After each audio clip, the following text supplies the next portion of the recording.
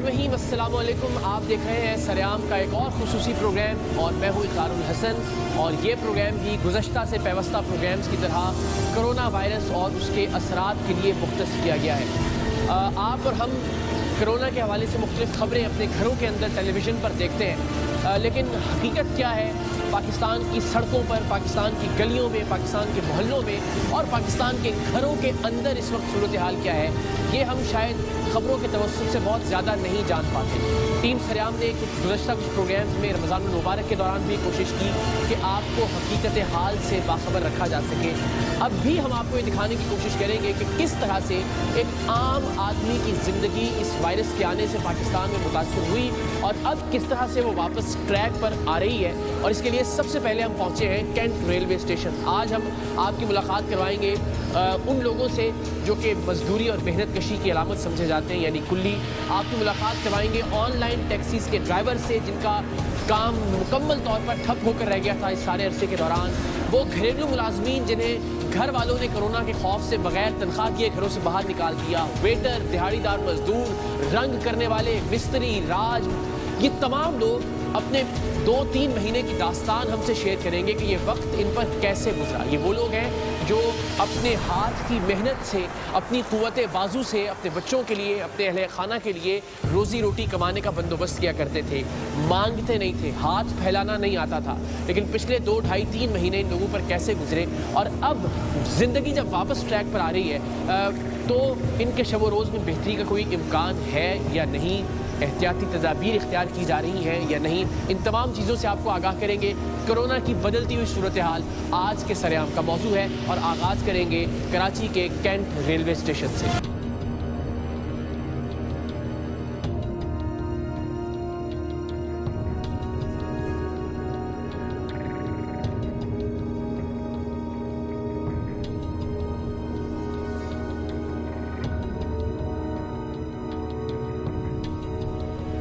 क्या हाल चाल है आपका?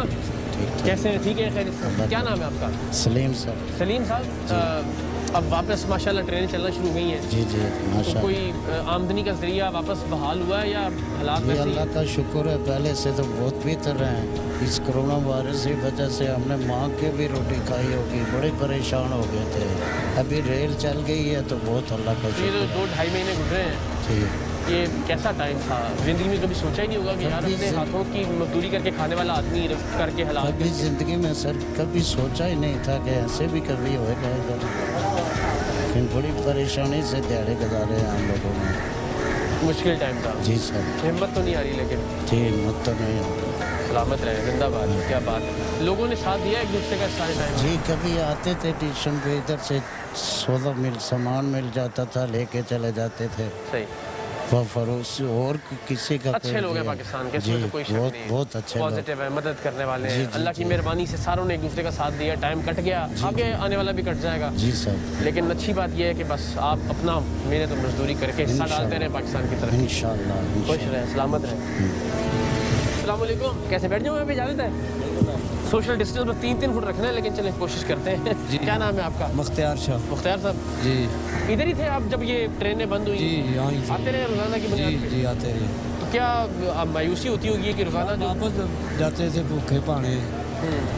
बेरोजगारे थे कोई कभी आ जाते थे बिरयानी ला के दे देते थे कभी सौ दो सौ कोई आ जाता था। मीडिया के कई बंदों आके दिए कितने मुश्किल टाइम से गुजरे आप पिछले दो ढाई महीने में या बस ठीक था? बहुत मुश्किल गुजरे हैं। फैमिली शुदा थे अभी बच्चे छोटे छोटे थे अभी गुजारा बहुत मुश्किल था। कोई रात भूखे तो नहीं सोनी पड़ी? बस सोनी पड़ी है क्यों नहीं सोनी पड़ी सर? बस। हर तरह लेकिन डटे रहे आजमाइश। डटे रहे अल्लाह वापस कुछ सिलसिला दोबारा आज चला कोई ना कोई। कुछ ना कुछ आ रहा है कम से हाँ, कम। दो बेहतर है जो पहले दो चार सौ रुपया आता है जाता है चलो किराए में कोई आगे पीछे अल्लाह खैर करे और बरकत दे। क्या नाम है आपका? जमीर गुलजार कॉलोनी रहते हैं। उस सारी कॉलोनी में गुलजार कॉलोनी उसका नाम है। सारी कॉलोनी में एक भी राशन नहीं है। किसी ने किसी ने हुकूमत नहीं नहीं गली में गली में नहीं है कोई गली में नहीं है क्या किया? कुछ भी नहीं बस ऐसे ही भूखे सोते भूखे जो अब इधर उधर सरतकारी करते थे बिल्डिंगों में इधर गुजारा करते थे। बड़ी मुश्किल आप यहाँ आते रहे जब ये अभी आए तकरीबन बीस तारीख से हम इधर आए आ गए हाँ बीस तारीख से। बीच में रोज़गार का कोई सिलसिला नहीं था? कोई भी कोई भी नहीं पहले नहीं था। और कोई राशन का इंतज़ाम भी कुछ भी नहीं मिला। गुलजार खान साल में कुछ नहीं मिला। ये देखे ना ये जो कुछ कुल्ली यहाँ आते रहे और अल्लाह के बंदे आके उनकी मदद करते रहे उनका सिलसिला हम इधर आते हैं ट्रैफ़िक वाले रास्ते में हम दोनों भाई को रोक लेते हैं भाई चालान भाई हम रोज़गार बीस डेढ़ महीना दो महीने बेरोजगार बैठे थे अभी आप चालान कर रहे हो हम किधर जाएँ? फिर कोई चालान करता है शाह बंदा जो छोड़ देता है बाकी बुरा बंदा चालान कर देता है।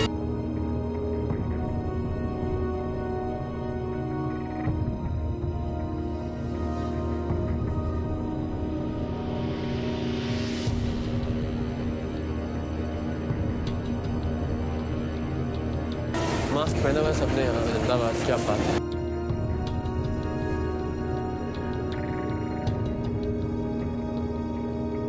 इत्मीनान हुआ देख के कि काफ़ी हद तक चीज़ें बेहतर है। अल्लाह करे बस इसका नतीजा भी अच्छा निकले। अ, अगर अल्लाह रहम करे हम पर और ये अ, ये जो परवरदिगार का अजाब है इससे ज़ाहिर हम निकल जाएँ।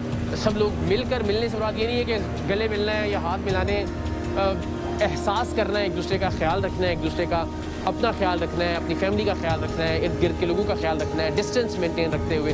बल्कि इस ईद पर हमने कहा था कि इस बार गले मिले बगैर आप अपनी मोहब्बत का इजहार करें। यानी आप गले ना मिलकर दूसरे को बताएँ कि मैं तुमसे प्यार करता हूँ। सो इस तरह हम सबको अपने अपने तौर पर अपने अपने महाज पर अपने अपने हिस्से का किरदार अदा करने की ज़रूरत है। पाकिस्तान रेलवेज़ की जानब से जो कुछ किया जा सकता है अप्रीशिएटेबल है, जो कुछ हमने यहाँ देखा। जो बादी नज़र में हमें नज़र आ रहा है। एंड अगेन बस ख्वाहिश और कोशिश यही है कि लोगों के रोज़गार का पहिया चले और अल्टीमेटली ये पहिया जो कोरोना वायरस का है, ये रिवर्स में चलना शुरू हो जाए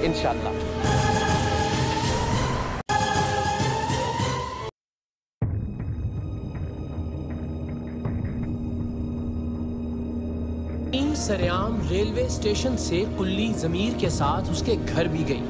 घर, जिसे घर कहना भी गैर मुनासिब लग रहा है। शिकारपुर से मजदूरी के लिए कराची आए हुए इस मेहनत कश के घर में सामान की जगह हर कोने में गुर्बत और लाचारगी पड़ी थी।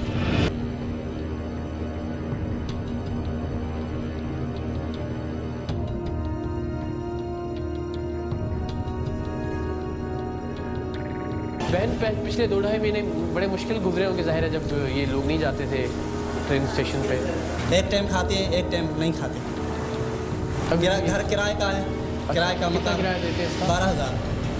बारह हज़ार किराया देते दो हैं। कमरों का किराया है। हाँ छः हज़ार उसको दिए हुए छः हज़ार अगले महीने में देंगे भाई मैं काम नहीं इसने छोड़े थे छः हज़ार अगले महीने में दे देगा छः हज़ार उसको दी। उसने भी रियायत दी थोड़ी। हाँ। बिजली का बिल आता है चार हज़ार पाँच हज़ार बिजली का बिल। तो फिर सारा कुल आपका असासा ये है।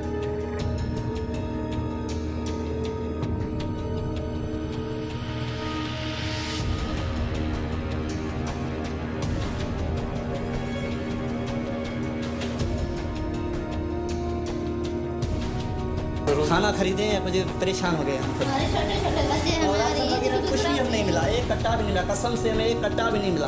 कपड़े भी नहीं थे मेरे बेटे ये कपड़े थे मेरे जूते भी नहीं थे। हमने शॉपिंग भी नहीं की छोटे छोटे बच्चे हैं? कोई चीज़ नहीं है।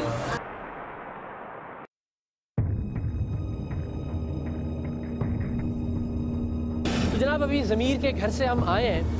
आपने देखा कि ये कुल्ली मेहनत करने वाला इंसान किन मुश्किल से गुजरा और अब तक गुजर रहा है। लेकिन ज़मीर का घर, जिस इलाके में जिसका किराया बारह हज़ार रुपये है, जिस इलाके में वाक़ है ज़रा उसका मंजर अपने इर्द गिर्द देखिए, कौन सा वायरस, कौन सा बैक्टीरिया है जो यहाँ मौजूद नहीं होगा, जो इन बच्चों पर असरअंदाज नहीं होता होगा या मुख्त तरह की बीमारियाँ पैदा नहीं करता होगा? और उन बीमारियों के नतीजे में यही लोग, ये गरीब लोग इस मुल्क के सेहत के निज़ाम के हाथों एड़ियाँ रगड़ रगड़ के किसी न किसी सरकारी अस्पताल में मारे जाते हैं। सो समझ नहीं आता कहाँ से शुरू करें? मसला कहाँ पर है? सिरा किधर से ढूंढें? किस किस किस जानब देखें? किस से सवाल करें? कोशिश ये कीजिए कि अपना रोल जो आप प्ले कर सकते हैं सोसाइटी की बेहतरी के लिए एटलीस्ट वो प्ले करते हैं। यहाँ से टीम सरेआम शाह फैसल कॉलोनी में बिस्मा के घर पहुँची, जिसकी नौकरी लॉकडाउन की वजह से खत्म हो गई थी, और उसके भाई को भी फैक्ट्री मालिकान ने मुलाजमत से निकाल दिया था। बिस्मा के वालिद ड्राइवर थे, लेकिन अब फालिज के हमले के बाद वो भी काम पर नहीं जा सकते थे। बिस्मा मुलाजमत से निकाले जाने के बाद अब कहीं काम मांगने जाती तो उससे वही तकाजा किया जाता, जिसका सामना घर से काम के लिए निकलने वाली हर दूसरी लड़की को करना पड़ता है। घर स्पेशली कैसे इफ़ेक्ट हुआ इससे? ज़ाहिर सब लोग कोशिश कर रहे थे कि रिस्क हलाल कमा के मेहनत करके घर चला सकें। लेकिन वो एकदम से जो हमें पता चला कि सब सिलसिला रुक गया है। जी और मेरा तो मसला ऐसा हुआ है कि मैं इससे पहले ही जो है ना मुझे फारिज का अटैक जी आप तो आपके बारे में सही। और बच्चे जो कमा रहे थे वो सिलसिला वो सारा रुक गया ना फिर। वो लॉकडाउन हो गया फिर सारा कुछ ख़त्म हो गया। बच्चा मेरा इधर एक मिल में काम कर रहा था कपड़े की। तो वहाँ पे पहले उसको छुट्टी दे दी। कुछ अर्सा मतलब तकरीबन एक महीना नहीं गया। सही। उसके बाद उसको बुलाया है तो उसको बोला है कि भाई ये तुम्हारे आठ के नौ हज़ार रुपये दिए और बोला है कि इधर साइन कर दो काम ख़त्म। अरे नौकरी से निकाल दिया। जी नौकरी से निकाल दिया वो कह रहे थे कि भाई अभी हमारा काम ख़त्म है। हम अब ये मेल हमने बंद कर दी। अल्लाह हिदायत दे। आप भी बहन कहीं जा रही थी इससे पहले काम के लिए? जी मैं जॉब कर रही थी लेकिन अभी कोरोना वायरस की वजह से जो है उन्होंने बंद कर दिए कंपनी वगैरह बंद कर दी ना तो जी अभी भी मैं सुबह भी गई थी इंटरव्यू के लिए लेकिन कुछ ऐसे हैं कि वो फिर गलत नज़र उनकी नज़र होती है उस तरीके से देखते हैं। और लड़की को तो आपको पता है मुश्किल से ही। हालाँकि मुझे लगता है कि हमें बेटियों को बहनों को ज़्यादा इज़्ज़त और एहतराम दे के उनको कौमी धारे में लाना चाहिए काम के मामले में।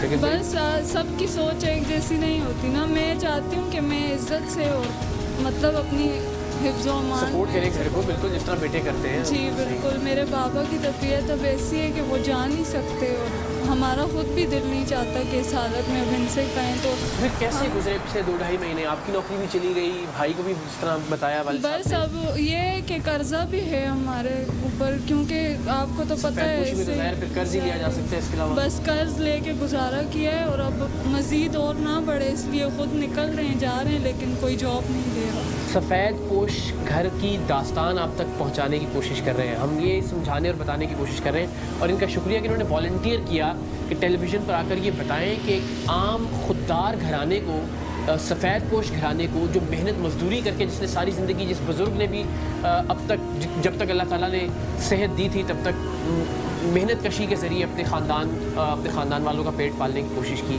बच्चों को भी यही दर्ज दिया। बेटी भी इसी बात पर यकीन रखती हैं कि हाथ फैलाया ना जाए, बल्कि हाथ की मेहनत के ज़रिए रिस्क हलाल कमाया जाए। बेटा भी इसी चीज़ पर यकीन रखता है। लेकिन हालात वो पैदा कर दिए गए कि सब एक अजीब सूरत हाल में आ गए हैं।